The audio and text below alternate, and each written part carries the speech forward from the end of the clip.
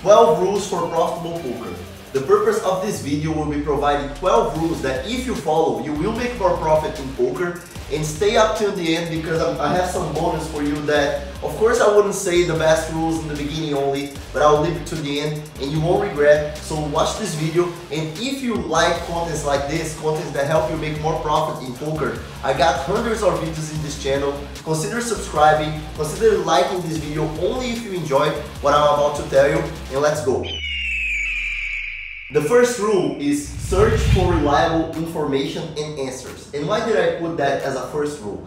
It's because many people will tell you many things, but some of those people will tell you things that in the end they don't even have results in what they are telling you. So why would you mind listening to them if they don't have the results that you want to achieve? You want to find answers from people that have better results than you. And you can also find answers through apps. For example, I tell you, PokerCalc app is an app that every poker player should have. Not only Texas Hold'em, but poker players that play Omaha or other games because you can see your equity versus the other hands. And the more hands you see, let's say for example, you got a flush draw and an over and you're playing against someone who has a top pair and you want to see what is your equity versus this guy. You can put in this app and you can see that your equity is not that bad. So maybe it makes sense, for example, if you have many overpairs in your range, for you to be really aggressive and try to make the guy fold because in case he calls you still have like 45, 44, 46% equity which is pretty much a flip. Another app that I highly recommend you to have is Poker Bankroll Tracker or any other app that you can track your winnings and losses because if I could tell you the best mirror that you have over your game and over the edge that you have over the players you're playing against is your graph. When you see your graph, you're seeing a mirror of your play. Of course there is variance inside of it, but I'm gonna show you a graph from a student of mine over 100 sessions and I'm gonna also show you my graph over 150 sessions that I played four years ago when I played 1-2 at the Horseshoe Casino in Chicago and you can see that both graphs show that there is a tendency for profitability. There is, it's showing that both graphs are profitable. Like you can see that there is a tendency upwards and I could only see that because I gathered my sessions and he, and he gathered his sessions so we could see both tendencies. I like to see this guy's graph because it was great to see that he is profitable most likely because I can see this tendency.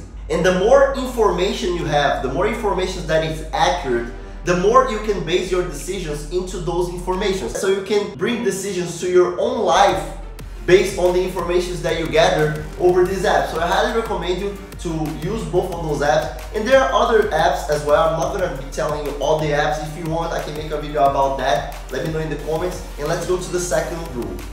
The second rule is be reasonable, make sense. And why did I say that? It's because poker is a game about logic. Poker is a game about decision making. And many times when my students come to me in my personalized one-on-one coaching and I'm talking to them, sometimes the reasons that they tell me why they did what they did are great and it makes sense. But sometimes it doesn't. And when it doesn't, that's a problem because your decisions should be great decisions for you to be profitable at poker. But for you to make great decisions, they need to make sense. They need to be reasonable. So that's why I'm saying always be reasonable. Whenever you make a decision, try to say it out loud. Why did you make that decision? And really try to understand if that makes sense. Because if it does make sense, you will be already doing something that many people don't do, which is making decisions that make sense. And if you're already doing this, most likely you are having better results than the average because the average loses money in poker. For you to be profitable at poker, you really gotta be above average. Otherwise, you will be just another guy that loses money little by little or you're gonna be below average that is a guy that loses a lot of money. Because I say a lot for my students that play poker bad is really expensive. And if you want to play poker and have fun it's nice for you to make poker as a profitable hobby or even as a very profitable business for you you know? And that's why I put this rule as a second one. The third rule is don't be soft be anti-fragile. And first you gotta understand what is being anti-fragile Anti-fragile is the opposite of something fragile. This is a fragile thing. If I drop and let it go, this thing will break. That's what fragile things do. And but anti-fragile things, they don't only resist to the impacts that they suffer. They actually become better over those impacts. So an anti-fragile person is a person that whenever it goes through a very hard moment, a, a very big impact, a very big failure, a very big mistake, instead of breaking over this, no, he's gonna use that to make him stronger. So he's gonna become stronger after the bad things that happen to him. That's what being anti-fragile means. It means that whenever you get fucked up in a situation, instead of breaking, instead of going down, instead of giving up, no, you're gonna use that impact to level up. You're gonna become stronger. The fourth rule is have a stoic mentality. And Stoicism is the most practical philosophy I have ever came across. It focuses a lot on rationality, self-control, and detachment from external circumstances. Because in poker, what matters the most is the quality of your decisions in the game. But sometimes you're gonna make great decisions, but the deck will screw you over, you know? The deck will fuck you up. The deck, you will have like 90% equity versus 10% equity in which is a $4,000 pot and guess what? 10% is gonna happen. But if you don't have a stoic mentality, you're gonna tilt, you're gonna get mad, you're gonna get angry, you might start making bad decisions. While if you have a stoic mentality, you come back on track to focus on what is under your control, which is your decisions in your day, your decisions at the poker tables, your bankroll, uh, how did you build your bankroll, how are your stuff going, are you making sure that you're playing well, are you making sure that you're calm and relaxed and keep playing your game, keep bluffing enough, keep extracting value, value enough from the hands that you want to extract value?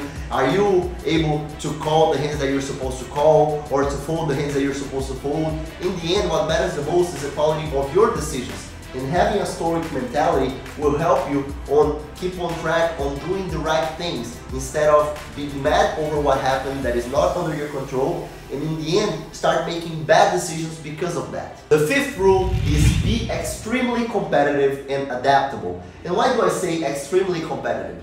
Because Poker is a very competitive game in which whenever you sit at a table, in case you're a beginner or you started playing poker not so long ago, there is no shame on there being other players that are better than you. But don't allow yourself to be fearful of them or to respect them more than you should respect. You should play what your range advises you to play. Actually, you should play what your range plus exploit range advise you to play. Because okay, let's say you know that you have a specific range from the hijack. Okay, so you have that range. But let's say that there's a very good player on the big blind. What you can do is to get that range and make it a little tighter. Why? Because the big blind is a very good player and the big blind is gonna most likely be the guy that is gonna play versus you this hand. While in another case, let's say the big blind is a whale that is very bad player, that most likely will play really bad, will be calling with a bunch of garbage, will be playing pretty bad post flop, you can do the exact next thing, which is opening up your range a little more. So you're being competitive, but you're also being adaptable. You're adapting to the situation that presented to yourself in the table in a way that you maximize your profits over those situations. So you're gonna play more hands versus the bad player and less hands versus the good player. But you're not gonna be afraid of the good player. You're not gonna stop playing hands versus the good player. No, if you have pocket tens, pocket nines, pocket eights, pocket jacks, aces, ace king, ace queen, you wanna play versus the good guy. Of course, because overall your your hand is better than that guy's average. And hopefully, when a player is good, he's aggressive. He's kind of annoying because he's all the time raising and putting pressure on you. So when you have a good hand, hopefully that guy is gonna try to put pressure on you to be aggressive on you. You have a good hand. So you're gonna take advantage of that and try to make profit over that. You know, you're not gonna be fearful. You're gonna be aware. You're gonna be conscious, you know, of what you're doing. And you're gonna be basing your decisions on logical reasons. You're gonna make sense of your decisions. You're gonna be reasonable. You see that everything connects and, and I didn't get even close to the best ones because I left the best ones to the end. The sixth rule, which could easily be the first rule, is have a solid bankroll management. And why is that? Man, variance is a reality for any poker player you know, anyone. The good ones and the bad ones. We will all go through variance sometimes. And variance is going up and down. Sometimes you will face variance and you're gonna win a lot over three days. Other times you will face variance and you're gonna lose a lot over three days. But if you don't have a solid bankroll management, what will happen is that when you go through those bad moments of variance, you're gonna break your bankroll. You're gonna go broke. And when you go broke, you're gonna stop playing poker and you're gonna stop making profit from poker if you're profitable or you stop playing the game that you love. If you have a solid bankroll management, you will be ready for those down moments in a way that in case you go down, you're not gonna go broke. You're gonna, you, you might go down in stakes. You might, let's say you play 2-5 and now because you went in a bad run, you come back to play 1-3, 1-2, 2-3, but you didn't go broke because you have a solid bankroll management. Basically, whenever you play a game, you are not supposed to be fearful of losing your stack because sooner or later you will lose your stack. We will all lose our stack. We can do that by calling a big bet over a guy that we thought he was bluffing but he had a value. Or we can do that by bluffing and someone calls. Or we can do that by having a big bad beat in which we went all in, the guy called and you had 80% equity but in the end the 20% of the guy hit and you lost but sooner or later you will lose your stack. So if you don't have a solid bankroll management, what's gonna happen is that sooner or later you will go broke. And when you go broke, you're gonna stop playing, you're gonna stop having the freedom to choose what you wanna do because your money is not allowing you to do the things that you wanna do. So make sure you always play with enough bankroll to allow you to lose one stack, two stack, three stacks and keep playing if you want. In, in case you lose and you're mad and you are tilted, don't play. That's another thing that we're gonna talk later, but if you're mad, if you're tilted, it's better not to play other than being playing and losing money little by little because you're mad, so you're making bad decisions because you're not good in your head. So make sure you always play with a calm and relaxed state of mind, you know? So be aware of that. Make sure you're self-aware of what is happening to your head. The seventh rule is learn GTO fundamentals. And why is that? Poker evolves really fast. 10 years ago when I started, poker was way softer than it is today. And today it is still soft because many people play to have fun, many people don't study, many people do many things. But in 10 years from now, people will definitely have a bigger level. So by learning GTO fundamentals, you have a north of what should you do because GTO doesn't base itself on I think that's right or not. No, GTO plays millions and millions of hands on millions and millions of different styles. So in the end, GTO understand what is the best style to play over those millions of hands. So in the end, GTO bases itself on stack depth, on nut advantage, on range advantage, on math, on, a, on combos. So GTO will give you some information that you can definitely look at GTO and try to model to your reality. So for example, pre-flop. Pre-flop, GTO pre-flop is a great source for you to learn optimal pre-flop because you see the ranges that you should play from the under the gun, the ranges that you should play from hijack, the range that you should play from button, etc. So when you see those ranges, you see what GTO is advising you to play in those ranges. But when you go to the table and you play against human beings, those human beings will not be balanced. So you can adapt those ranges to your reality in a way that you maximize your profit over them. But you only know the range in the first place because you know GTO fundamentals. So the app I use, the software I use for GTO is GTO Wizard. There's a link in the description below where you can use it for free. And if you want to purchase, purchase. But if you don't, you can use a lot of things for free as well in the pre-flop. And I tell you, start learning GTO fundamentals on the pre-flop. And pre-flop, if you learn GTO and if you start using GTO ranges in your pre-flop, you're gonna start like printing money on the table because other people will be playing a bunch of hands that they weren't supposed to be playing while you are playing close to what you should be playing. So when you're playing close to what you should be playing, you are most likely making profit over the other people that are not playing close of what they should be playing. Poker is a predatory game in which for you to make money, other person has to lose. So for you to make money on other people, you gotta make better decisions than those people consistently. You gotta have an edge on them. So how can you acquire edge? by learning things that they don't, by doing better things that they do. And one of those things that you can do better is learn GTO fundamentals and use those fundamentals when you're playing poker. And that talks pretty well on the eighth rule, which is be a predator. Because for you to make money, other person necessarily has to lose. So for you to make money in poker, you gotta make profit over the other people. You know, like for you to make $100 in profit, someone lost even more than $100 because there is rake. So by being a predator, you become like a hunter. Poker is a game about hunting, you know? Like when you're in a table and you look at a guy making a bunch of mistakes and he has a thousand dollars in front of him and most likely he's gonna lose that thousand dollars over the next hour, two hours, three hours, that he that guy is a great opportunity for you to make money on him. And what you're gonna do? You're gonna adapt your game to his game in a way that you maximize your profits over them and you really eat his money. You know, like poker reminds me a lot of the wildlife. And in the wildlife, nature is aggressive, nature is competitive, nature sometimes is brutal, and nature is egotistical as well, like in a way that nature just care about their life. So if you're a hunter, you wanna eat other animals and you you don't care about how those animals are feeling etc i know that might sound ruthless. I'm just trying to put in your head that poker is a game about making money over others about attacking others about being aggressive and predators in nature are aggressive just as you should be in poker.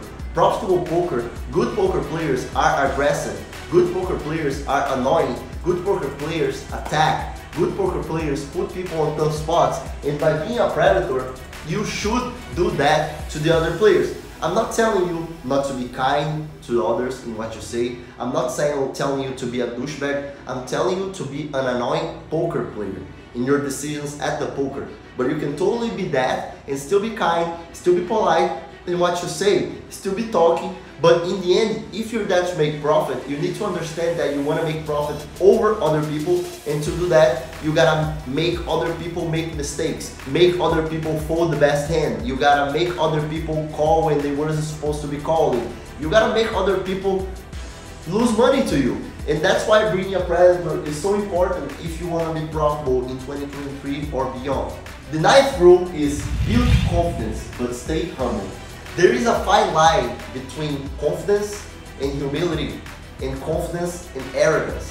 Many people are confident, but they are not arrogant. While some people are overconfident and become arrogant. But you can totally be confident and humble. How do you build confidence? By studying, by making good decisions, by having good results, by getting experienced enough so you understand what you're doing right and you keep doing that. That's how you build confidence. But you should still be humble to understand that there's a lot for you to learn. You don't know everything. There will be players that know many things that you don't, and you want to learn from those players as well. So the best way that you can play good poker but still learn a lot in poker is to be confident but staying humble. So never allow yourself to think that you're the shit, that you know everything, that you don't have anything else to learn, because that's just dumb, you know? Poker is a very complex game that that has many nuances and new things that are appearing that you should make sure you are studying and you are curious enough so you can learn those things when they happen, when they come to you. I learn daily, every day through software or GTO or talking to you, like listening to your comments even though sometimes your comments are not so good, but sometimes they are. I read literally all the comments you send on YouTube and I learn a lot from you. Sometimes in poker, sometimes in life, but I'm still learning and I'm not willing to stop reading your comments or to stop taking into consideration what you think because I know that sometimes I will learn from it and I want to do that. Poker is a game, it's not like soccer or like basketball that when you make 40, 35, 50 years old, you start going down. No, like poker is a brain game. So as long as your brain is still healthy, as long as you still have a good vision and you still are able to rationalize and make good decisions, poker is gonna be there for you. Like I can really see myself in 15 years from now playing poker and in love with the game still because I, I love this game, you know? So build confidence, but stay humble. That's a very important thing for you to do Poker, man, poker is so complex. Poker has so many nuances. It, poker is great about life. Poker teaches a lot about life, in my opinion, about business management, about risk taking, about knowing how to deal with frustrations. We will all deal with frustrations no matter what in poker. Sometimes we're gonna face bad beats, sometimes we're gonna fall into a tournament that we thought that we could win the tournament, and that's fine. The most important is for you to get those bad things and try to build up over, the, over those bad things. Try to become better over that. Try to become more experienced over that. So next time you face a similar situation, you deal well with those situations and you make the best decision you can at the moment because that's the most important role, at least in my opinion, when I'm at the table, is making the best decision I can. And the more I know about poker, the better I am, the better my decision will be. But I'm there to do my best and you should be there to do your best as well. The 10th rule is a rule that I learned through time and now I tell you, which is don't play tilted. Why don't play tilted? Because sometimes you'll be mad. Sometimes you will be impatient. Sometimes you'll be mad to what the cards did to you or to what someone did to you or in your life. Let's say you're going through a bad moment in your life, you fought with your girlfriend or with your father or with your mother and you're bad here. Whenever you're bad here and you want to play poker, man, many times in my life I did that. And 95% of the times I end up losing more money than I than I won, you know? So why playing tilted? I understand, you're tilted, but you want to do what you want to do. But man, it's impressive the amount of times that I play tilted and that I lost money. While when I play with a good state of mind, when I'm with my mind okay, when I'm with my mind right and I play poker, the chance for me to make money is way bigger. So whenever you're tilted, you're mad, don't play tilted. Or try to find a way to stop being tilted. One thing that I do is like when I'm in the table and I'm tilted, and like, but I want to still play, man, I figure out a way to come back on track to my mind and to play what I'm supposed to be playing, which is my GTO range plus my exploit range that I'm gonna do like some changes in my range to adapt to the players in the table. What I do is I read books that bring me wisdom. One book that brings me a lot of wisdom is Proverbs from the Bible. Like, I highly recommend any of you guys, you don't need to be a Christian to read Proverbs and to take advantage of that book because that book brings a lot of wisdom. I'm gonna leave the link in the description, so make sure you don't play tilted. So if you're tilted and you wanna keep playing, make sure you find a way to not be tilted anymore. But if you're tilted and you cannot get away from this situation, just stop playing, go home, go watch a movie, go see someone, go do something you like, and there will be many other days for you to play poker. Rule number 11, which is have your things working well. What type of things? Anything. Let's say your vision is not so good and you go to the table and you're not able even to see the flop that's bad for you. So what do you do? You get a glass and you take your glass for you to be able to watch well. Or let's say you are playing online and your internet is not working so well. So you're gonna have to fix that internet because in the end, poker is a game that you wanna build edge and the more edge you have, the better your results will be. So by you not being able to see the flop well, or to look at the players and try to find some tell or something like that, that's gonna be bad for you. That's gonna be an, an edge for the ones that are able to see well, for the ones that have a good internet. So have your things working well, always, because the more you have those things working, the more you have an edge over the other players. Because other players won't have all of their things working well. So if you have all of your things working well, but they don't, that's gonna be an edge for you. So make sure always that when you decide to play poker, everything's fine, you're doing well, you're in a good state of mind, man, that really makes a lot of difference. You be in a good state of mind when you decide to play poker. You be good at looking at other people and be able to see well or hear well or etc. You, you know in your life things that the things that you need for you to be okay to play poker, for you to be with everything working well. So make sure you do that. You know, like don't allow yourself to forget how you are feeling right now, how are you right now, how are your state of mind right now, because all those things make a make a big difference over the long run over your results at poker and when you see your graph after this video I'm really confident that you make changes in your game in which is gonna make a difference in your game over the long run, in your graph over the long run, and in your results over the long run. Now, rule number 12, never stop learning. I already talked about that, but it's good to talk again that, man, like poker is a marathon. Like your results at poker will come through the long run. It's not about tomorrow, it's not about next week, but about what you're gonna do tomorrow, next week, in a way that you are always improving, you are always learning, you are always being a better and better player in a way that don't don't fool yourself. Your results today are not as good as your results next year can be. And that's important because life is big. Life is a marathon and poker as well. So Never stop learning, always keep trying to improve your game. One thing that I tell you, read my ebook that is for free in the description below that I'm sure that this ebook will make you have way more profit at poker, will make you make way better decisions in the game. So make sure you go in the description and read my ebook. And now the 13th rule, which is a bonus, is never play scared of losing money. Play aggressively. Man, what I see the most when I play uh, especially low stakes, but sometimes in the highest stakes, people people show off that they are fearful of losing their $2,000 stack, $3,000 stack, and that's a disadvantage because good poker is aggressive poker. You should play aggressively. You should put people on tough spots. Whenever you're playing versus a good player, this player will tend to be aggressive over you and put you on hard spots.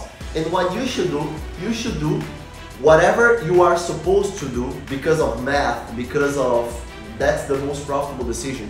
You shouldn't be folding a big overbet in the river because it's a lot of money. You should be folding a big overbet in the river because your hand right now, in comparison of your whole range, it doesn't make sense for you to call such a big bet. That's the reason. It's not because I'm man, I'm gonna call three thousand dollars here, and if I'm wrong, I'm gonna lose three thousand dollars. That's a weakness. That's a leak. In this leak, good players will exploit that leak in their favor. So make sure you don't play scared of losing money. Make sure you play actually in a way that your decisions make sense. Be reasonable, make sense, always. So your emotions will make you weaker at poker. Your fears, your anger, any emotion will make you weaker. What is gonna make you stronger at poker is your self-awareness, is your knowledge. You gotta chase logical reasonings, you know? So in the end, whatever emotion you have, you should detach from that emotion and you should try to find the logical sense why you're doing what you're doing and if the logical sense means that you're gonna have to put $3,000 inside the table because it's the best decision, that's exactly what you should do. And if you're fearful of losing the $3,000 because you cannot lose that money, you shouldn't even be playing in the first place. I hope you guys enjoyed this episode. If you did, click the like and subscribe to the channel. Also check out my book that I did this book with a lot of care to you and it's for free in the description below. If you enjoyed this video, there are many other videos that are gonna show up in the screen as well that you'll also enjoy. The mission of this channel is helping you become a better poker player and see you next time.